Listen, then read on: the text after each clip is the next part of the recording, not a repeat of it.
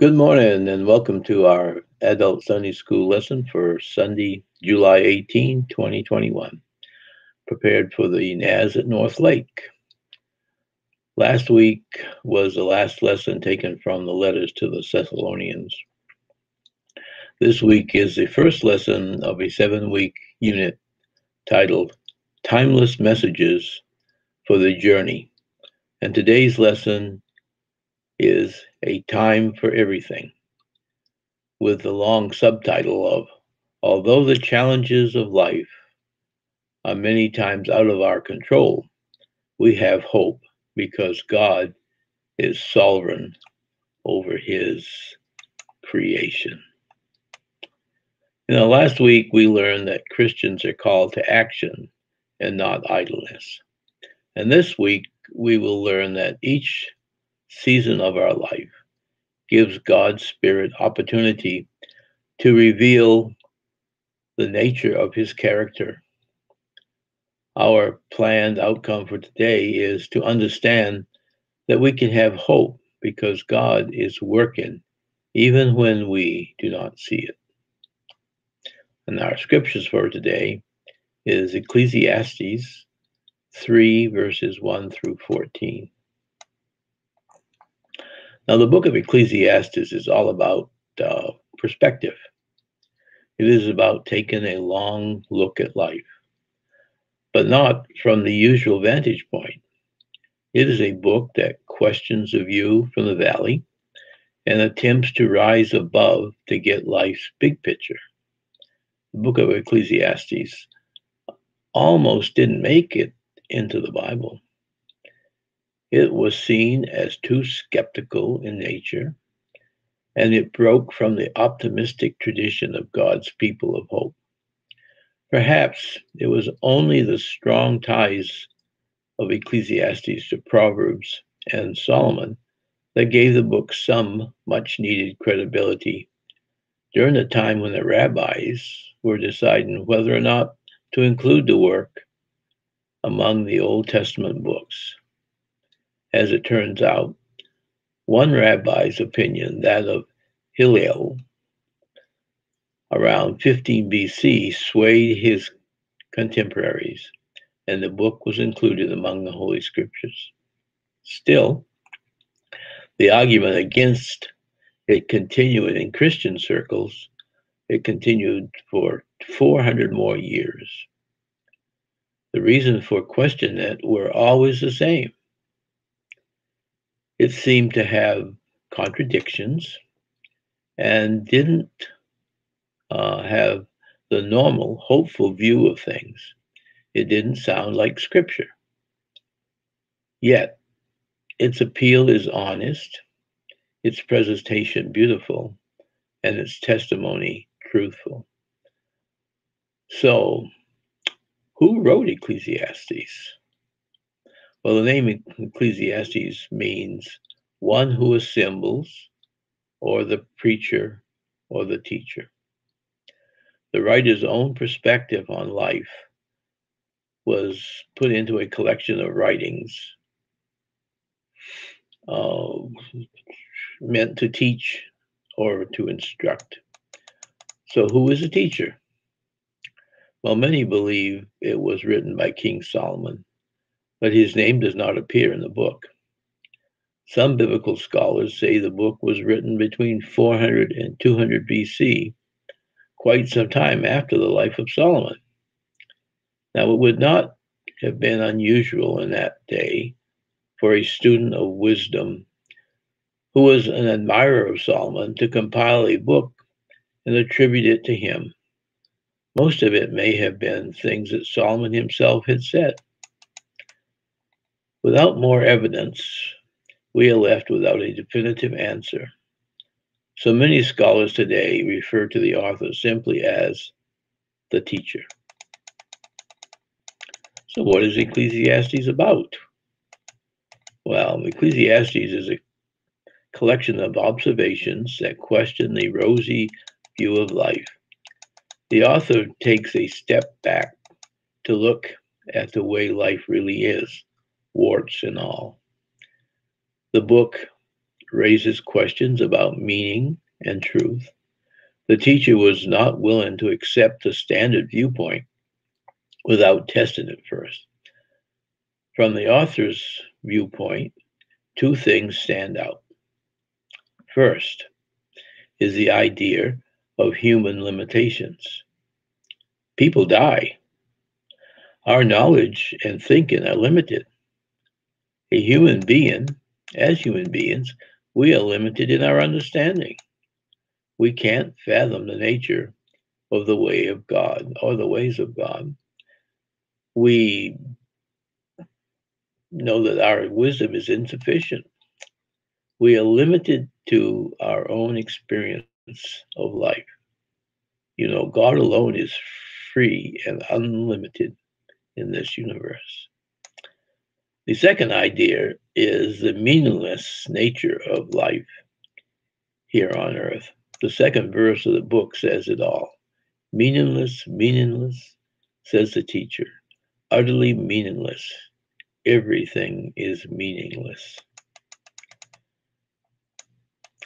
The author contends that human existence is full of meaningless pursuits. The very way we sustain ourselves and work, the activities we spend the most time pursuing, is pointless. This idea may seem depressing, but it helps us to look reality square in the eye. There are many things people pursue that they think will bring them pleasure but in the end, only leave them wanting. People fill their lives with things to the exclusion of God. There are idols we erect and allow to take the place of our life, place in our lives that only God should occupy. People sometimes lose perspective on what is important. Sometimes they need to be lifted higher to see the full picture. Ecclesiastes reminds us that the only thing worth pursuing is God Himself. Our teacher has taken an honest look at life and has put this judgment down on paper.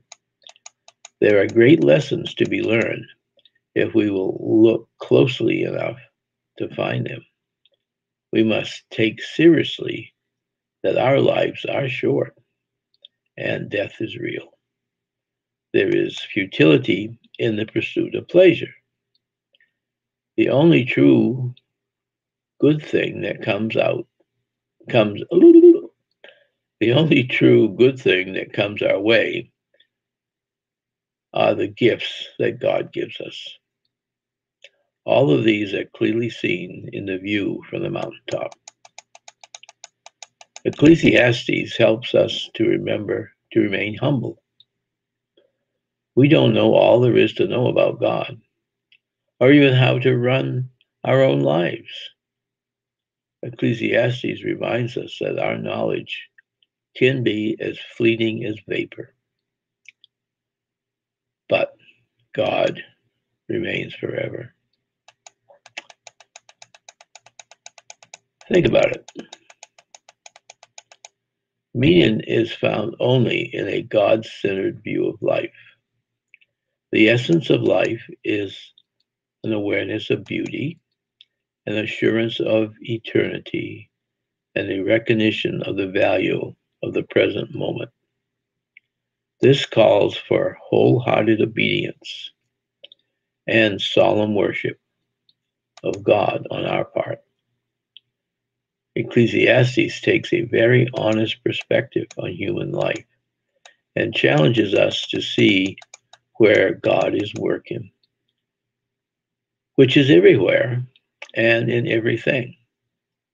There is no human experience that God does not know or care about. Okay? connecting with our experience. Okay, think about a time in your life when everything seemed to be going wrong. Now, think about a time when everything seemed to be going well. You know, it, you know, everything was in its rightful place. So when things are not going well in your life, what is typically your response? That's our first question. You know, when I was younger in age and in the Lord, I would start searching for some way to change the situation in my own strength. Well, now I've changed a little bit. I got older and uh, I don't know if any wiser or not, but anyway, uh, now I tend to thank God for being there with me and ask for his guidance and help. You know, we are told to be thankful in all things because God is our help and he is our heavenly Father. So, what is your response when things are going well? Well, I wrote down, I thank God and look for his guidance and help because he is our help and our heavenly father. I think it's we our reaction should be somewhat the same. Unfortunately, quite often we uh, think everything's great and we just kind of forget about God, and that's the wrong direction there, right? Our transition. Our text today reminds us that there is a time for everything, good and bad difficult and easy. As we dive into the passage, many, I mean, the passage, may we be reminded that God has made everything beautiful in its time. So, connecting to the Word, our first uh, scripture we're going to read is just Ecclesiastes 3 1, just the one verse. There is a time for everything and a season for every activity under have under the heavens. Now, note that when the writer uses the term season,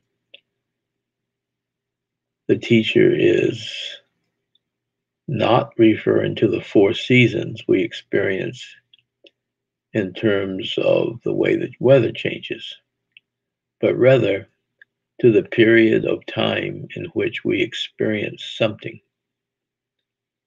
Whether that experience is good, that something is good or bad, it's the time that we experience a certain something. So, what do you think the writer means by a time for everything? Is anything excluded from this? If so, what? now, when I looked at this question,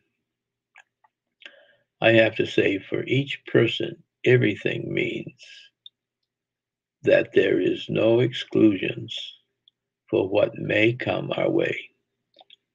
But I also know that I will not have every possible experience, good or bad, during my life. I think that it may be better expressed as nothing is excluded from what can happen. Not necessarily what will happen, but what can happen. You know, God is the one in control. And what I experience is either His will for me, or it's the result of my not following Him as I should. I know God has promised to be with me in the sunshine and in the storm. So whatever he brings my way is up to him, right? And how I respond to it can be up to me. How might the writer use of time in our passage differ from our common understanding of time? You know, as humans, we are very much aware of time. We watch the clock, we check our cell phone, we set alarms, and our day is almost ruled by how we schedule our time. God, on the other hand, lives outside of time. Being eternal, his time is diff- his timing is different from ours. I believe time is subject to God's will, unlike us. God has time for everything. under the heaven.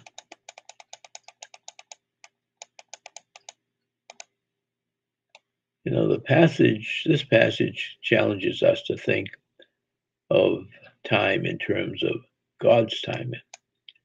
How could how could understanding time in terms of God's timing benefit us as the people of God? You know, maybe if we understood God's timing, it would not be hard for us to be still and see that He is God. We would not have to worry, uh, we would not worry about tomorrow or how the issues in our life are going to all play out. Our second scripture reading here is Ecclesiastes chapter 3, verses 2 through 8. A time to be born and a time to die, a time to plant and a time to uproot, a time to kill and a time to heal, a time to tear down and a time to build, a time to weep and a time to laugh, a time to mourn and a time to dance a time to scatter stones, and a time to gather them, a time to embrace, and a time to refrain from embracing, a time to search, and a time to give up, a time to keep, and a time to throw away, a time to tear, and a time to mend, a time to be silent, and a time to speak a time to love and a time to hate, a time for war and a time for peace. You know, many people are looking in the wrong place for the real meaning of life. What would you consider as fake sources of meaning? You know, I have had I have had many people tell me they believe in science, not God. And I tell them I believe in real science and God. People also think the meaning in life is in the, is in position and power and wealth. With those definitions, if those are things that define, you know, position, power, and wealth are not being surrendered to God, and to God's will, then they really have no real meaning. It's only in our relationship to God. This poetic text here that we read takes us through a robust list of things human experience on earth, both positive and negative. How does this portion of the text speak to our experience as humans? You know, here we find a list of things, of many things that we have experienced and many possibility of things that we might yet experience. We need to realize that these are referred to as the seasons that we find ourselves in. And I think we need to remember that uh, we know from nature that seasons do not last forever. Seasons come and seasons go. And the things we experience, you know, this too shall pass, right? Which of the comparisons in the writer's list of human experiences surprised you the most and why? Excuse me. Um, you know, there is not much in that list that is surprising to me because I'm getting old, I guess. However, a time to scatter stones and a time to gather them seemed a bit odd in this list of things here. But I thought, as I thought about this, I decided from my experience as an engineer in construction management, I have been involved in gathering stones. And then after crushing them, we scattered them out and, and made some nice roads for people to drive on, right? So uh, I guess it was a time to gather stones and to uh, scatter them in a different form. So, what does this list say about who God is? I think it should tell us some things about God that, such as God's timing is purposeful and that God allows for unique and dynamic human experience. I think we should also understand that God is ultimately in control.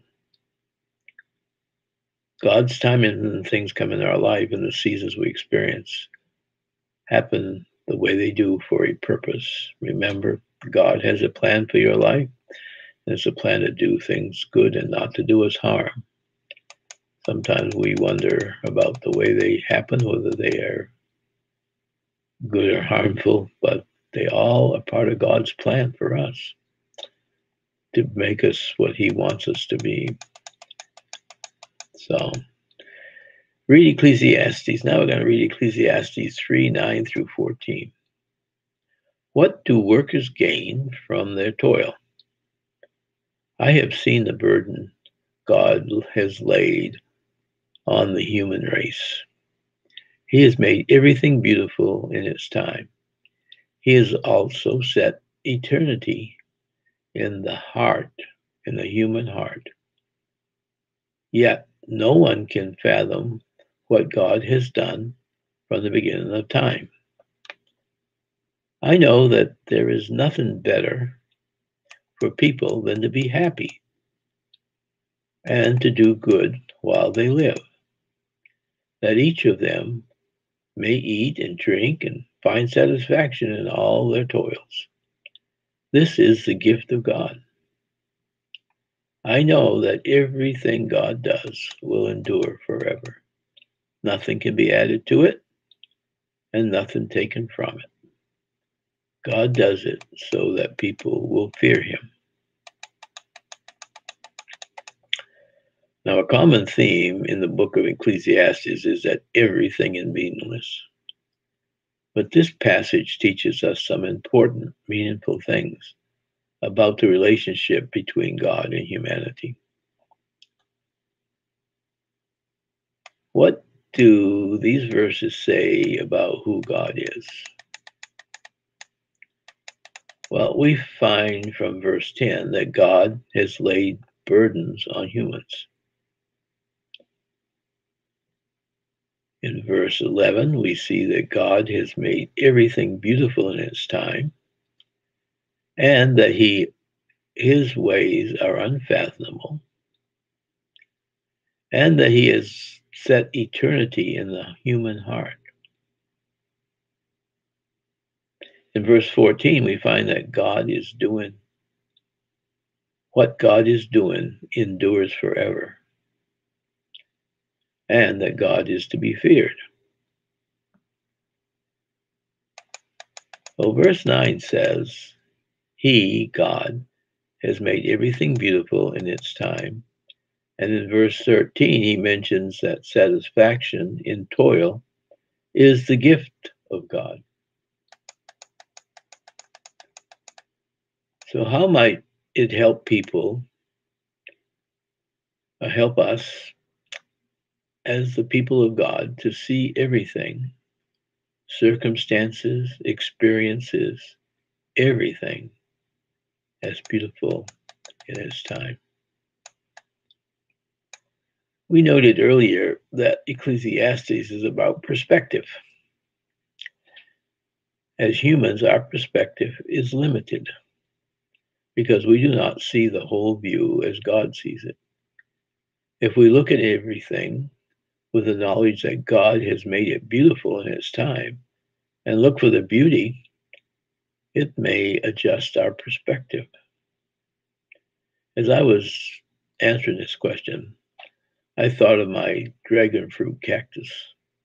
Well, I actually have cacti, but anyway, it has a very large and beautiful blossom. But they start to bloom. The bloom, blossom starts to open at about as the sun goes down. And then in the morning, when the sun comes up, the flower is already wilting. So, to see the true beauty, you need to visit the plant in the dark because that is the time that it was made beautiful. And so it has a very short life, but this is a very beautiful flower. And it's very large. God made it beautiful, but just for that short period. And you know, we need to look for the beauty in the things that God is doing around us and for us. Verse 11 says that he has set eternity in the hearts of people. How do you react when you hear the phrase eternity in our hearts? Excuse me, I need to take a sip of water here, I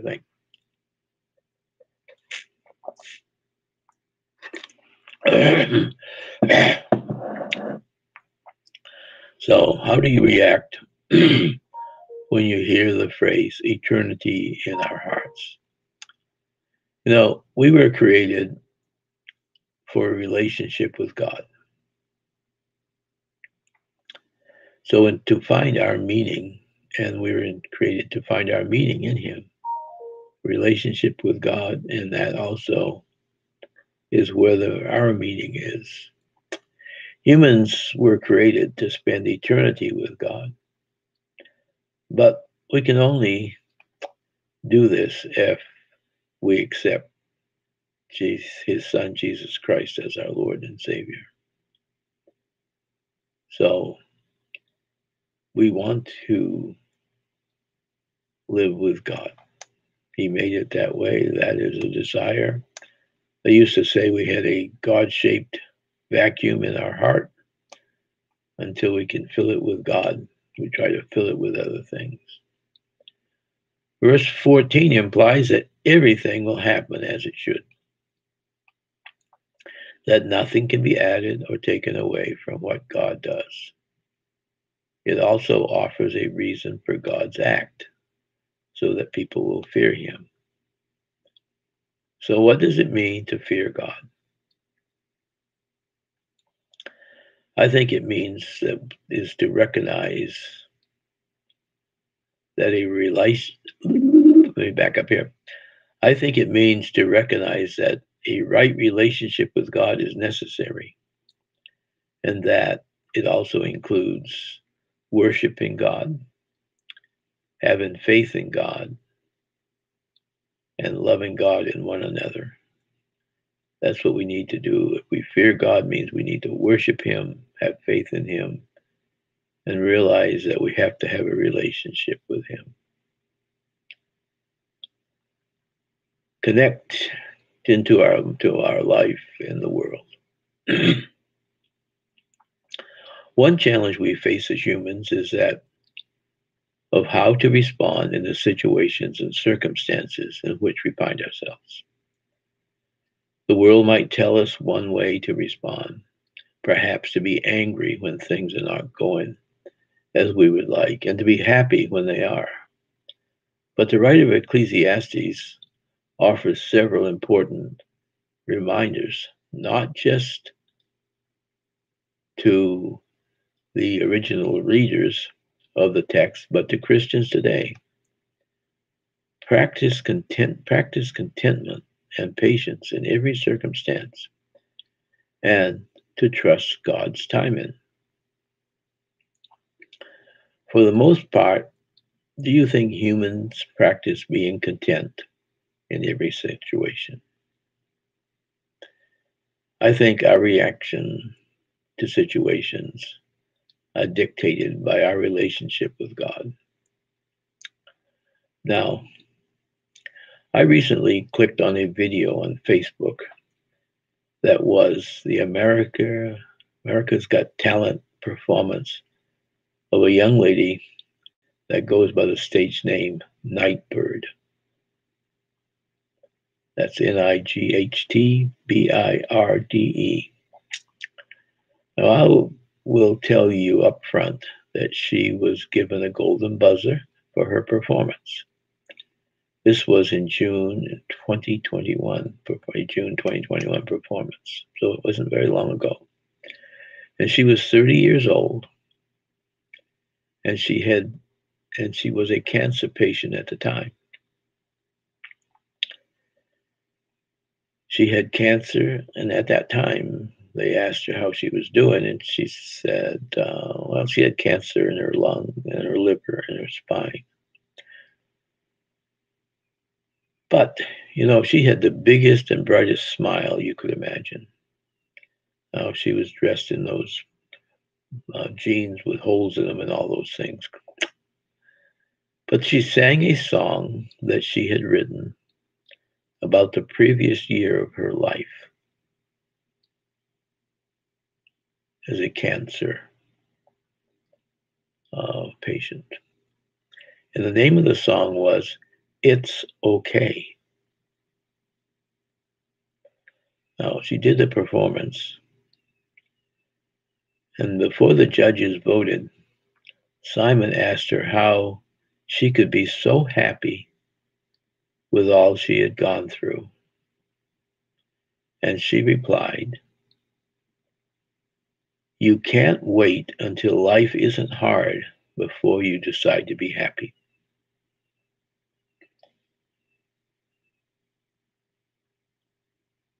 Later on, she said, and uh, as she was leaving a little post interview thing, uh, she said that her doctor had given her a 2% chance to survive. And she said, but you know, 2% isn't nothing. I'll tell you by the time the video was over, there were tears in my eyes. A few days later, I spoke about Nightbirde to my grandson's wife, Bridget. She said, I know about her, and I want to read something that she wrote to you.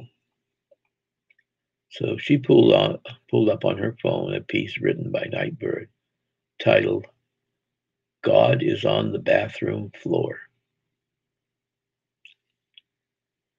Now, this is about her relationship with God.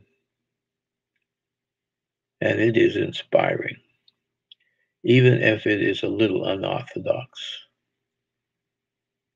And I think she probably is more truthful than a lot of people when she went with what she wrote here. Part of it is how she spent time when very sick, laying on a mat in the bathroom talking with God. The last paragraph reads Even on days when I'm not too not so sick, sometimes I go lay on the mat in the afternoon light to listen for him. I know it sounds crazy, and I can't really explain it, but God is there. Even now, I have heard it said that people can't see God because they won't look low enough. And it's true. If you can't see Him, look lower. God is on the bathroom floor. If you've never heard of Nightbirde, I would encourage you to Google the America's Got Talent Nightbirde Golden Buzzer and Google Nightbirde God is on the bathroom floor. Now, if you can listen to her song and read what she wrote without any emotion, uh, maybe you know, if we can do that, maybe we need to spend some time on the bathroom floor. Why is it important for us as Christians to practice contentment? God has a plan for our life, and it is to do good for us. So trust Him and give thanks in, in, in everything. Are we content with what God, our Heavenly Father, provides for us or plans for us? In light of our life here on earth, with a time to be born and time to die, uh, compare that to eternity with Him. Hmm.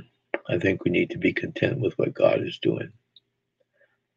How might we begin to practice trusting in God's timing? This is the lesson book's answer. Praying for peace and contentment, reading the Word, sharing life with other Christians. Now, if you've watched these lessons, then you probably know my answer PRP Praise, Read, and Prayer. In light of the text, what wisdom could we offer to those who feel discouraged about their life circumstances? Verses 12 and 13 tell us I know that there is nothing better for people than to be happy and to do good while they live that each of them may eat and drink and find satisfaction in all their toil. This is the gift of God. We need to remember everything is beautiful in its time, and God always loves us, and He always shows us grace. It is a gift that He gives us. Now for a little homework for your part here. So get quiet before God and think about the following questions. Think about how they apply to your life. If you were to ask God for one thing to make the present moment more meaningful, what would it be?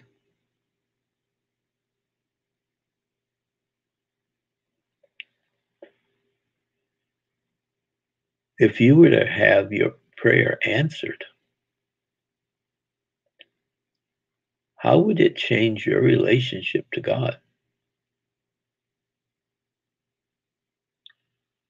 How would it change your relationship to your coworkers?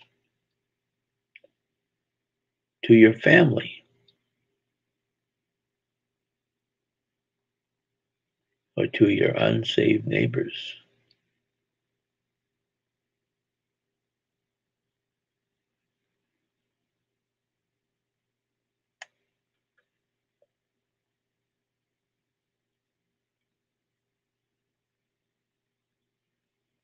If God gave you exactly what you think you need, how does it affect your relationships?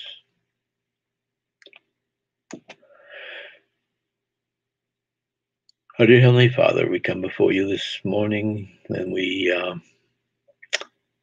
just want to praise you for all that you have done in our lives and the fact that you do make everything beautiful in its time and that you do give us good gifts, God, and uh, watch over us, and that you are always faithful. You're always there with us through good times and bad. And even when we can't explain it, just as uh, all the pain and sorrow and things that happen, like in the story that uh, Nightbirde tells, we just know, Lord, that you're still right there and uh, you're where we can meet you, even if it might be on the bathroom floor, Lord. That we'll have our place that uh, we can uh, truly meet you, meet with you, and you're always there for us. And we just pray, Lord, that you would uh, continue. We know that they are those who are ill and have had problems, and we just pray, Lord, that you would just touch them and comfort them. And uh, we think of uh, Sandy and Ron there in Ohio that you'd be with them and uh, touch Ron and uh, as he's going through a difficult time medically, and just uh, we pray for him. And um, we think of Jay and Debbie, and they continue to carry on. And uh, the uh, and Consuelo and others, Lord, we just pray that you would uh, continue to be with us in a special way each day and uh, help us to reach out to others that uh, the things that we would like to see change our life and make it better would also change the life and relationship with others that our unsaved neighbors would uh, come to to know you through our actions and that uh, you would let the holy spirit deal upon their hearts and draw them to you and uh, our unsaved relatives and family and friends and those around the world. In jesus precious name we ask it. Amen. Well, good. Mm, that's the end of our lesson for today, and we just pray, Lord, that uh, that you guys have a great day and a great week, and uh, remember that uh, God does love you, and uh, so do I.